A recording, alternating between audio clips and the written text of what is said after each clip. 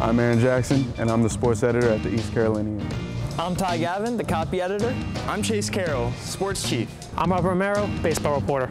I'm Daniel Roberts, baseball reporter. This is TECsperts.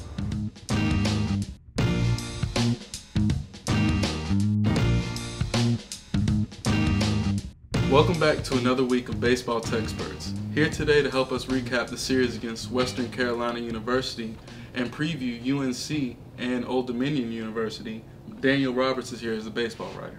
Today we'll be recapping the series against Western Carolina University, Campbell University, and previewing the series this weekend against the University of North Carolina at Chapel Hill and Old Dominion University next week. Guys, what's the biggest takeaway from this last weekend series against Western Carolina? So, against Western Carolina, I think we saw both our starting pitchers and our relief pitchers really perform well. Uh, we saw them, uh, they came away with 30 strikeouts to just uh, three Jake Agnos walks, uh, which is impressive, striking out 30 uh, batters compared to just uh, three walks. Um, so we saw the depth there and what our starting pitchers can really do. Yeah, I absolutely agree. Chase touched on it. 13 pitchers out of the 14 pitchers who made appearances at Western Carolina had zero walks. Um, they came in, basically locked down the Catamounts the whole time. I don't think we got to see too much of the ECU hitting because of how bad the Western uh, Carolina pitching was, and that's not their fault. They play in the Southern Conference, which is just a home run hitting conference. They didn't have the pitching that they needed to beat ECU, and they took advantage. Mm-hmm. Yeah, pitching was basically flawless. Like you really couldn't see any problems. Like didn't see any like mistakes. Like Jake Agnos probably made the most mistakes, like allowing two runs before Tyler Smith came into the game and allowed no hits, no runs, no errors. But the ECU pitching definitely was like put on full display the first weekend against Western Carolina. To have a bullpen like that is huge after you get out. I think ECU outscored the Catamounts 10 to 1 in the first inning, and then it, even when Jake Agnos gets into that kind of danger, you bring in Tyler Smith and he just locks it down and shuts down the Catamounts, and you have that five run lead, and, and they never really had a chance to get back into it. Yeah, that offensive output by ECU was very high. Like, it was not expected in the first weekend series, but ECU scored 8 3 in the first win, 8 2 in the second win, and 9 3 in the last win. What do you think is the credit for this 27 run output? So one player that uh, really performed well over the Western Carolina series was junior Connor Litton. Uh, he had a three-run home run to go with his uh, just one of his five hits. He walked four separate times, so he's really seeing the ball well, uh, really taking it in. Um, just just got his eye on the ball and and taking walks. That's something you want, getting your guys on bases. Mm-hmm putting him in the five hole is a huge thing. He does a great job seeing at bats. He takes a lot of pitches, and then he he doesn't only hit home runs. He had a couple big doubles that drove in runs. And then when you want to talk about home runs, Spencer Brickhouse hits two two three run home runs. He has six RBIs in that series. Picks up right where he left off last year as the team leading home runs.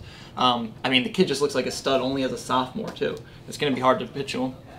Yeah, like Brickhouse just really getting things started because he hit a home run to like his first at bat. Like in the first two games, like really got ECU going mm-hmm. and just allowed them to put distance between themselves and the Catamounts. And then Litton, I mean, has like a .545 batting average. Like that's just, you know, that's pretty amazing. Pretty amazing just at the start of the season. Batting from everybody, like it's been really impressive so far this season.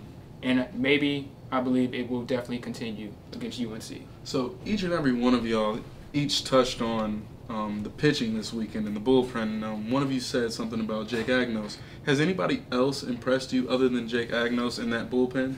Well, uh, someone that came in for Jake Agnos was uh, Tyler Smith. Came in for four innings and allowed just three hits, which is uh, something you want to see when your starting pitcher's struggling. Have a guy in the bullpen that you can Absolutely. look to to to get you out of a jam. So uh, that's what Tyler Smith did in the, his one appearance against Western Carolina. I remember a lot of the talk last week from Robert, who's not here this week, was about Gavin Williams, and I think Chase touched on him too.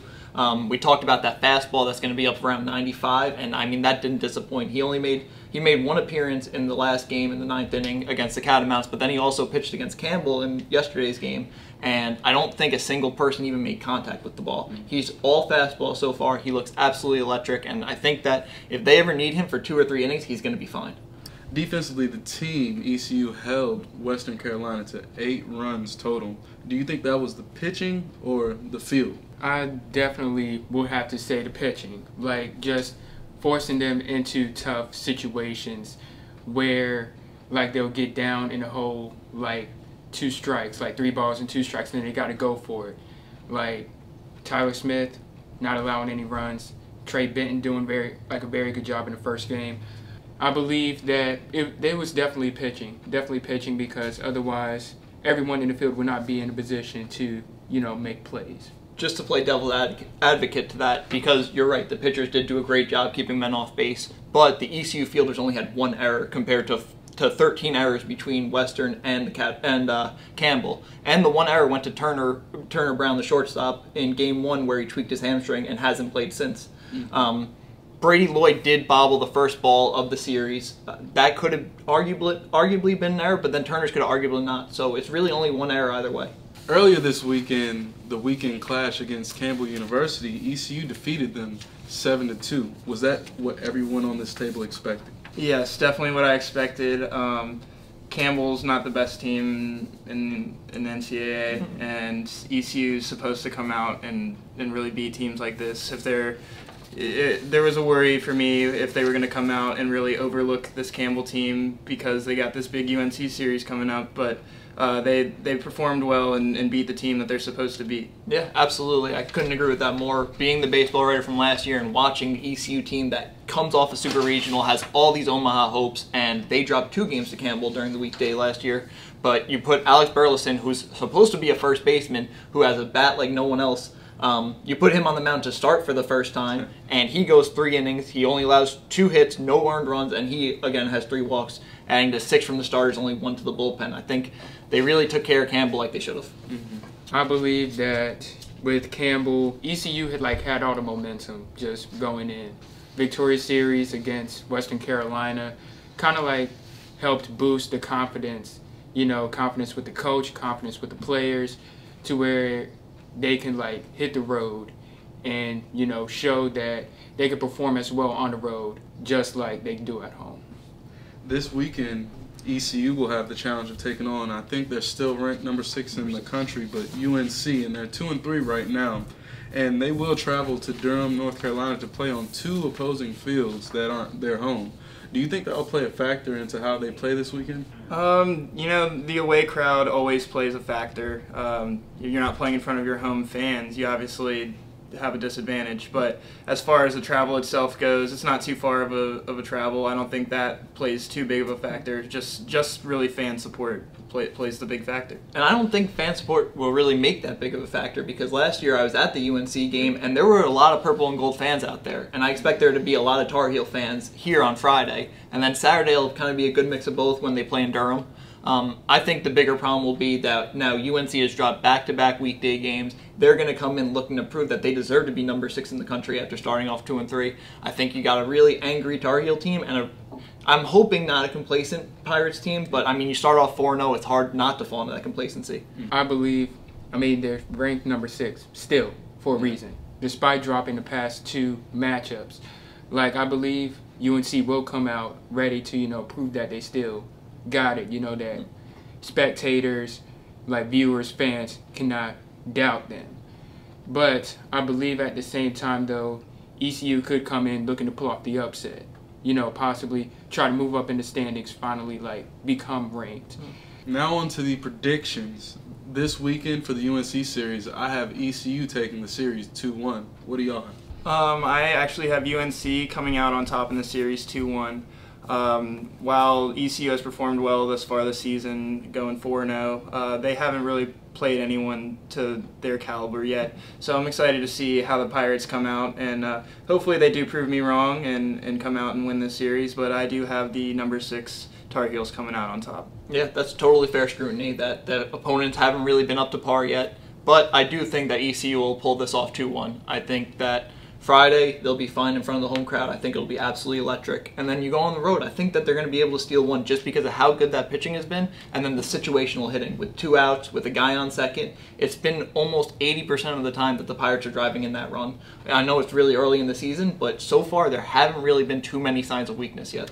My prediction, I believe UNC will take the series 2 to 1. I believe ECU will do just fine on Friday playing in front of their home crowd.